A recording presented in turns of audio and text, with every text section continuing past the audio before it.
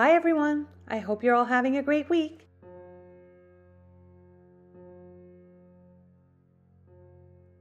This week I'm going to be working on another watercolor project, but to be honest, I'm not 100% sure what to call it. It um, really basically started off with the idea of doing something a little different, um, meaning that I'm going to be starting by working with a rectangle and normally I work more with circles than square shapes. So I am not 100% sure where I'm going to go with this. I have an idea in mind of maybe creating some kind of mosaic, but it's not really clear in my head at this point.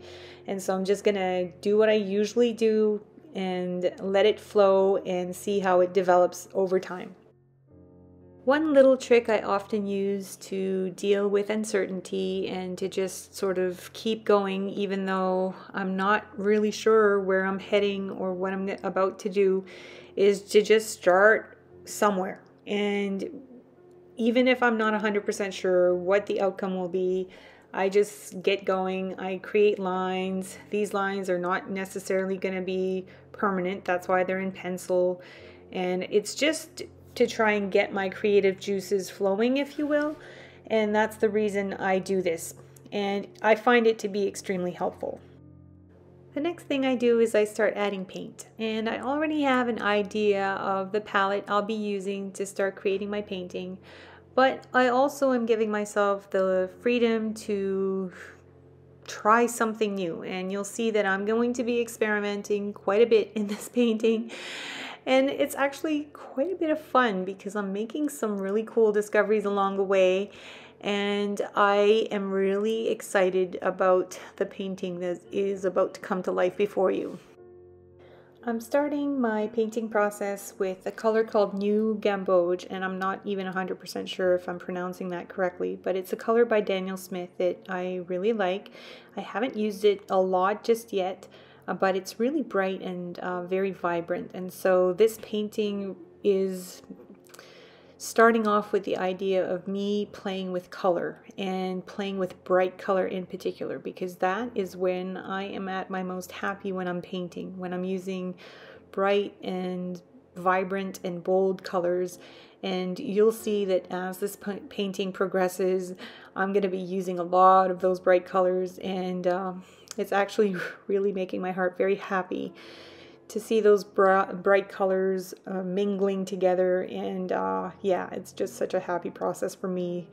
And I love you know it's just the light wash of this this color and I'm adding a little bit more pigment to it as I'm going along but it's just so bright and beautiful and uh, yeah, I'm pretty excited to start off with this color. It feels a little bit overwhelming right now, maybe because it's, you know, it's yellow.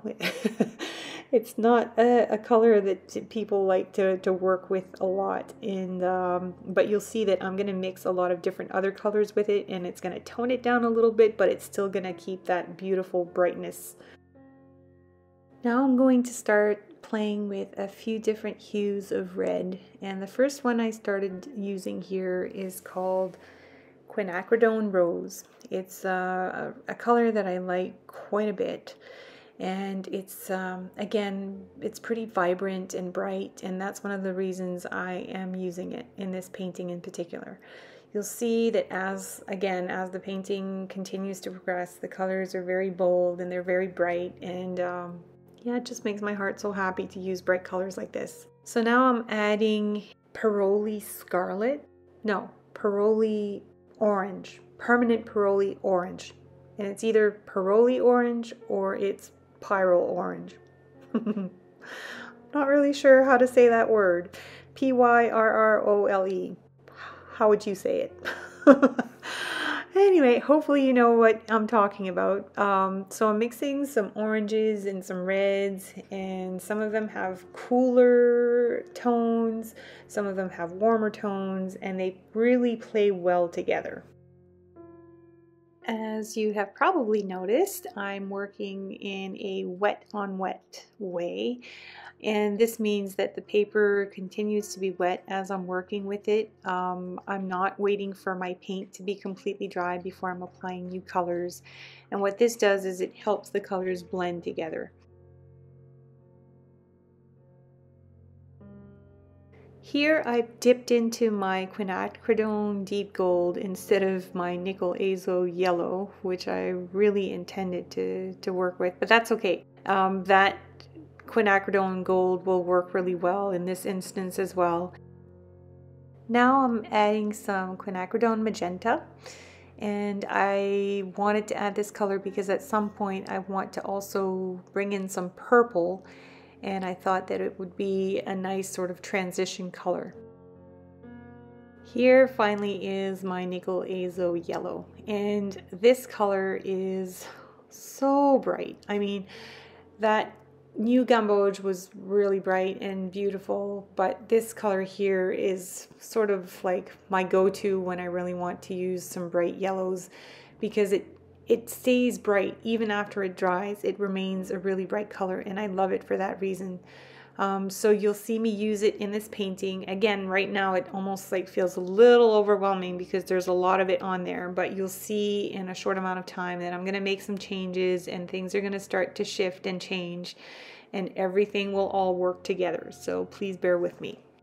I kind of created a little frame here and it wasn't necessarily my intention, but as I was moving, moving my paintbrush along those lines, uh, it picked up on some of the paint and it moved it into somewhat like a grid and, and that's okay. The wonderful thing about watercolors is that as long as they're wet, they're still movable. And I like that you can blend them and move them like that. And while the paint is still semi-wet, I can go in with a damp brush, just using some water and create some more textures as I'm doing right now.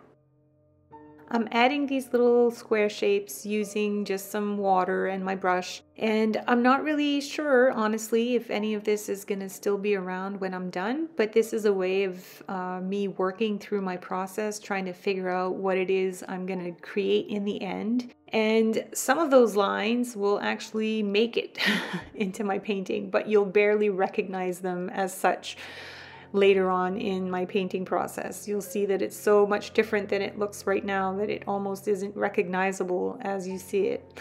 But that's the fun thing, you know, it's an intuitive painting process. I'm trying to figure things out as I go along.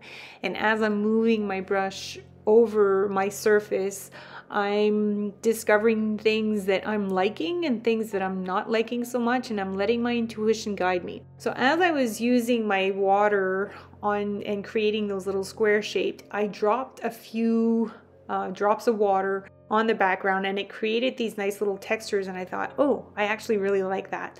So, I then started doing this on purpose. I'm just dipping my brush in water and I'm dropping it in different parts of my painting.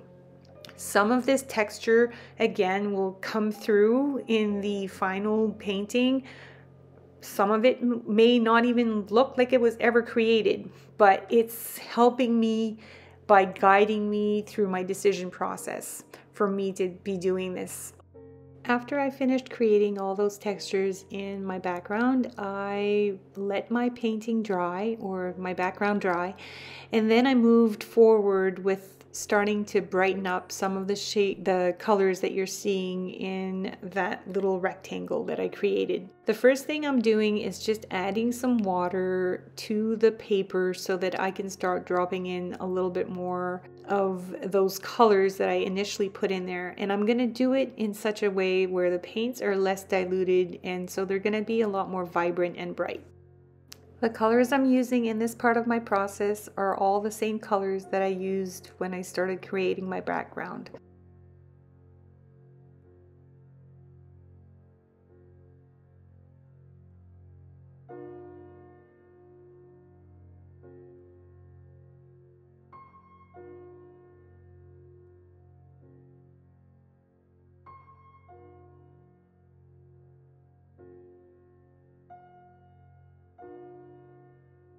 Now I'm starting to bring in some of that purple that I mentioned I was going to bring in earlier. And I'm doing this because it's a bit different. It plays well with the colors I already have on the paper. I'm adding it at this point also because it's a safe time to do so. If I had added the purple when the nickel azo yellow or the new Gamboge were still wet, mixing yellow and purple like that would create a brown. And that's not really the look I'm going for here. Remember I said I wanted to have a really bright and bold and colorful painting. So I'm keeping my colors as pure as possible by making sure that the only colors that I let mingle together are the ones that play well together and that won't create neutrals. And yellow and gold would create a neutral. And in this case, I do not want to do that. So I'm making sure that I don't mix them in at the same time. If I let them mix a little bit, it will be with a buffer. Like this color here is opera pink. So I'm putting that color next to the purple because I know it's going to play well with the purple. And then when I add a nickel azo yellow or any yellow to that, it will blend better with the opera pink than it would with the purples. So that's good. And I, I can let them do this. Um, but again, I, I don't want my nickel azo yellow to touch the purple because it's going to create colors that I don't really want for this color scheme. Another color I really love because it's so bright and vibrant is this opera pink. And I don't use it, use it very often in my paintings. I find that it almost has a very specific purpose and that purpose is usually to fit in a bright and colorful and vibrant painting. And in this case, that's what I'm going for. So it's sort of the perfect color to blend in with the other colors. And really, when you use it next to the other colors that are in the painting, I find that it plays so well with them. I let my painting dry after this last layer and then I wanted to start working on the contour again and the reason I wanted to do this after I let my paper dry is again because sometimes I don't want my colors to blend together. The color I'm applying here is that quinacridone deep gold. It's a really beautiful color as well and it generally does play well with other colors, especially the colors that are in the same family that are already on my painting. But I wanted to use this color in this instance sort of as a contour and I didn't really want that contour to start blending into what I created in that, let's call it mosaic area of that little rectangle. So while before, I guess not while, but before the paint dries, I'm using a wet brush to go in and to add some water to sort of spread that paint. And I don't know if you noticed, but at the very top right corner of my painting, as I was applying the water and uh, blending that, that uh, quinacridone gold out, my paintbrush picked up a little bit of blue that was on my piece of plexiglass that I have my paper taped onto. and I actually really like the effect that created. So, surprise, surprise, that led to an idea for me to start adding some blue. And look at how much it starts to shift and change the painting to just add that blue. This is the new color that I was talking about in my video last week. It's called I called it the wrong name last week, so I want to correct that on my video this week. Um, it's called Cobalt Blue Turquoise Light. Hopefully I got it right this time. If I, I will definitely make sure I have it right in my video description, and I did correct it in the video description last week. But man, look at how nicely it plays with the colors that are on the paper right now. It is such a beautiful complementary color to the colors that are on the painting and it really brings the whole entire painting to life and I, I was so excited to start adding this color that I went a little crazy with it, I won't lie, but I tried to, you know, not go too overboard with it. But man, I just love it. And it is so bright and it covers really well. This is the color uh, by Kremer Pigmente. And it's like I said before in my video last week, normally most of the paints that I've used from Kremer Pigmente, they've been mostly iridescent colors and their iridescent paints are really, really beautiful. But this color here, um, I mean, I'm super excited about it because I had another teal color and it just wasn't really cutting it for me. It didn't seem to be as bright as I wanted it to be and this one here does not disappoint. So I managed to pull myself away from my new blue, at least for now. and I'm gonna start adding a little bit more pigment to some of those other um, shapes that are in my painting. Again, I'm just using all the same colors that I used the first couple of times. It, as you'll notice, is really a building process. I am building up layers and as I'm building up these layers, the colors are becoming more intensified and they're becoming brighter and this is meeting my goal of building a bright and bold painting. And so um, yeah, I'm just working on that right now, and I'm, I'm not going to go into too, too much detail because I'm pretty much just doing what I did before. And I'm going to just do it for one final layer this time, and then we'll move on to adding some other details with my pens and markers and ink and other tools.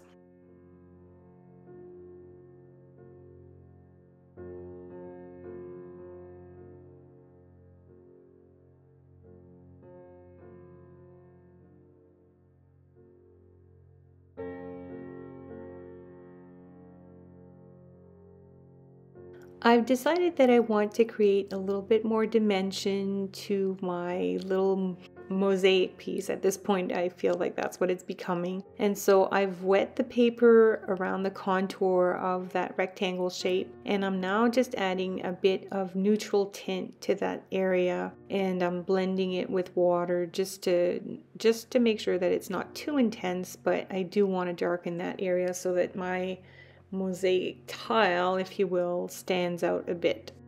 Once I finished doing that, I was finally feeling satisfied with my background, and so I let the background dry, and now I'm going to start playing with my pens. As I mentioned in the beginning, the first few lines that I drew in pencil were just lines that I was drawing to sort of get me going and get my creative juices flowing. So you'll notice that none of the lines or maybe only some of the lines, I guess, are actually being kept. And I'm going to be doing something quite a bit different using my pen. And I decided to do this basically at this point of the process. Like I've mentioned before in some of my other videos, one step leads into the other step, and that's how my paintings really develop. It's really a very rare thing for me to work on an abstract painting and have a full on plan right from the get go.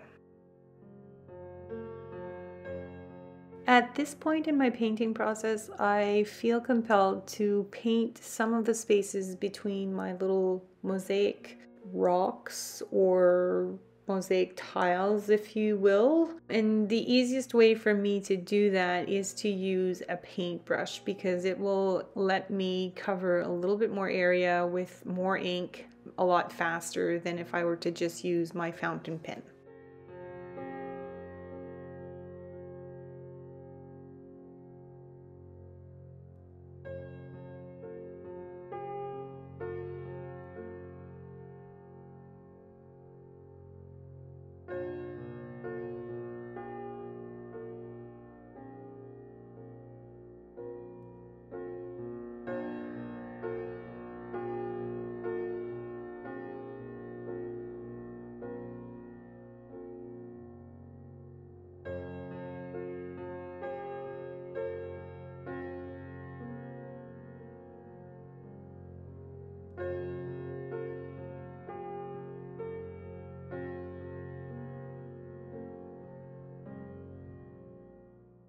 I've come in with my pencil again and I'm to start drawing in some lines that will look like cracks. I've decided that my painting looks like a mosaic tile laying on an old wall and that old wall has some cracks and since I'm not 100% sure if this is entirely where I want to take it, I've decided to draw the lines in pencil first and if I don't like them I can just erase them. If I do like them then I can just trace over them with my fountain pen. Since I'm really liking how those pencil lines are looking, I'm now ready to commit and I've pulled out my fountain pen again and I'm just going to trace over the lines that I created.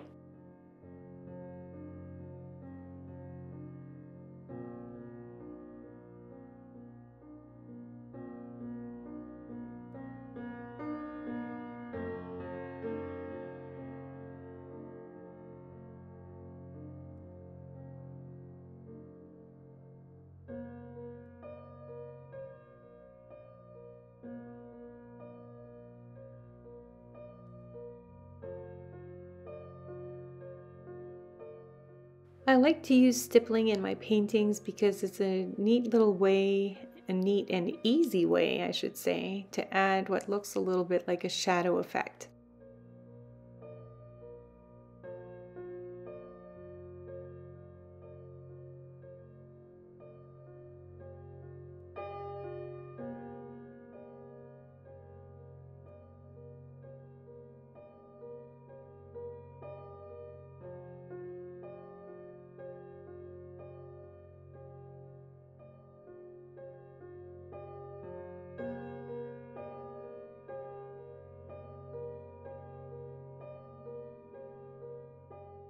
I'll use some India ink and my dotting tool to create a bit of a similar effect but with a little bit more intense color. In previous videos, I remember having called this dotting tool a stylist. I recently have been made aware that it's actually called a stylus. so there's my little language lesson for the day. It was it was a lesson for me, and hopefully it can help someone else out there. that blue looks really beautiful on the background, and I think it's important for me to pull a little bit of it into my little mo mosaic tile as well. As I mentioned, this color is very rich and it covers very well. So I'm applying it, and even though it's uh, a watercolor, it it applies so well over other colors. It's kind of like, you know, the gold. The gold applies equally well over other colors. And I really am loving this paint for yet another reason. Just as a little side note, I want you to know that I'm not sponsored by Kremer Pigmente to say any of this. I just really love their paints and I use them a lot in most of my paintings. So when I love a product, I talk about it and I tell you why I like it. And so I, I just want you to know that, yes, again, I'm not sponsored by Kremer Pigmente.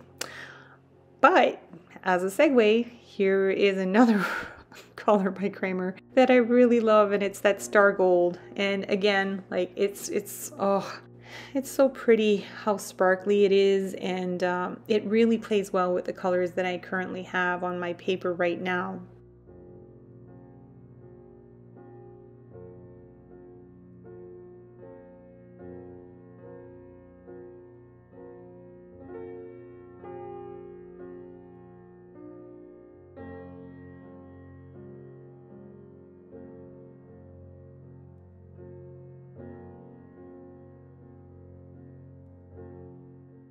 Even though there are lighter values in my painting, I do feel that it would help my painting to bring in a little bit of white. So I'm going to add a little bit of white using my white pen, both inside the mosaic and on the surface of my abstract wall. And already having added it in to the little mosaic tile that I painted there, I do feel that it is helping the other colors pop.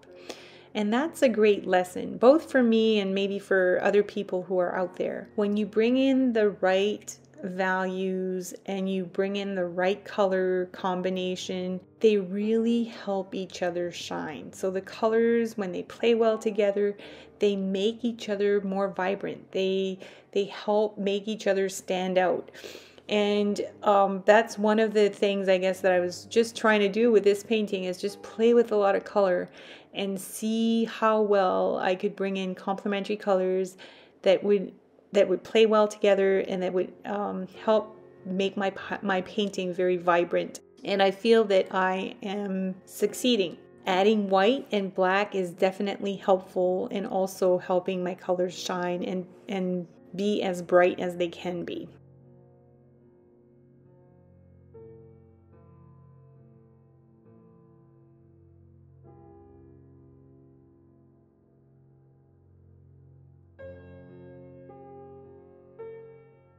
I've had so much fun experimenting with these colors and I'm now feeling ready to start pulling off my tape and look at the painting.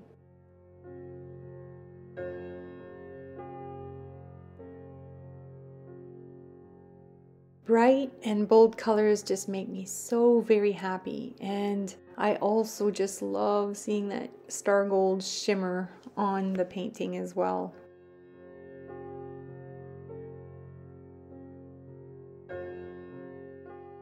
Let's have a closer look together at some of the details.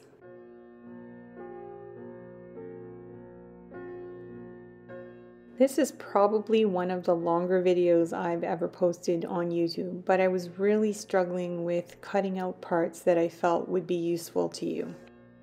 So if you stuck it out this long, I want to say great big thanks for being patient and for continuing to watch. I hope that this video has inspired you to pull out your bright colors and to experiment and play with them because it can be such a satisfying process to bring them all together. As always, a great big thanks to you for making the time to watch. I really appreciate it and it means a lot to me. I hope you all have a wonderful week and happy creating!